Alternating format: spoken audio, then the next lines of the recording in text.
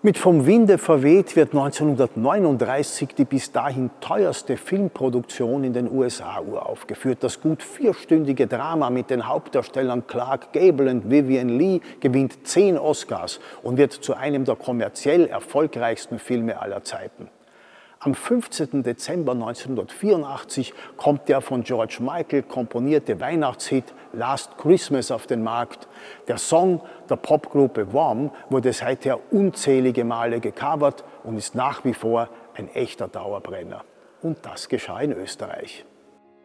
Am 15. Dezember 1928 kommt in Wien Friedrich Stowasser, besser bekannt unter seinem Künstlernamen Friedensreich Hundertwasser, zur Welt. Seine Kindheit ist geprägt von negativen Ereignissen. Der Vater stirbt, als Hundertwasser erst zwei Jahre alt ist. Als Sohn einer Jüdin wird er nach dem sogenannten Anschluss zwangsumgesiedelt, überlebt jedoch die Jahre des Terrors. Seine unvergleichliche Kunstsprache prägt noch heute das Stadtbild von Wien.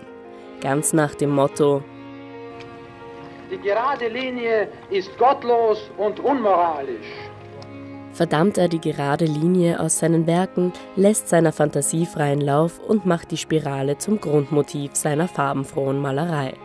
Bereits in seiner frühen Kindheit zeichnet sich Hundertwassers Talent und die Einzigartigkeit seiner Werke ab. Ja, Friedensreich Hundertwasser wurde in Wien geboren, ähm, ist hier ist im 15. und im 2. Bezirk aufgewachsen, und äh, war schon als äh, Schüler sehr begabt äh, im Bereich der Malerei, äh, wurde auch sehr gefördert, ist dann ähm, nach der Matura auch ähm, an, der, an der Kunstakademie, wurde er eingeschrieben. Das hat er nur nicht lange gemacht. Nach etwa drei Monaten beschließt Hundertwasser, das Studium abzubrechen und stattdessen die Welt zu erkunden.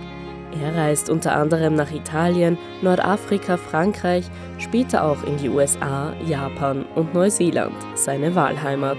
1949 nimmt er dann den Künstlernamen Hundertwasser an. Also geboren als Friedrich Stowasser hat er dann sehr bald seinen Namen geändert in Friedensreich Hundertwasser. Stoh heißt 100 und das Wasser ähm, ist ihm, also hat, er, hat er behalten und Friedensreich 100 Wasser äh, war dann sozusagen die, ähm, die, die Übersetzung ins Deutsche. Ich glaube halt, dass Wasser ein ganz fantastisches Element ist, das, das viele Möglichkeiten birgt. Diese Verbundenheit zum Wasser und allgemein zur Natur spiegelt sich dann auch in Hundertwassers Kunst und Architektur wider. Also das sieht man bei, bei Hundertwassers Werk äh, wirklich, dass er versucht hat, Kunst, Leben und Ökologie zu verbinden, so ganz in der Tradition der Avantgarden, Leben und Kunst äh, zu vereinen, kam bei ihm die Ökologie dazu. Seiner Vorstellung entsprechend soll die Natur in die Architektur mit einbezogen werden, Beispiele hierfür sind etwa das Hundertwasserhaus oder auch hier das Kunsthaus Wien im dritten Wiener Gemeindebezirk.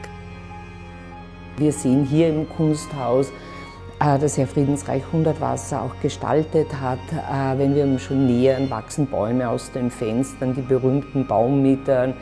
Er hat äh, die Dächer begrünt und da sprechen wir wirklich von den 80er Jahren. Das war dann damals nicht so selbstverständlich wie heute. Das war wirklich auch eine, eine technische Innovation.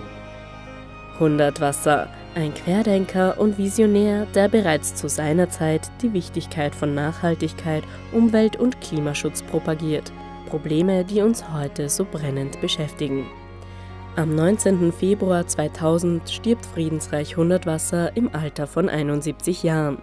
Er wird in Neuseeland, seiner zweiten Heimat, begraben, doch sein Vermächtnis bleibt und ziert noch heute das Wiener Stadtbild.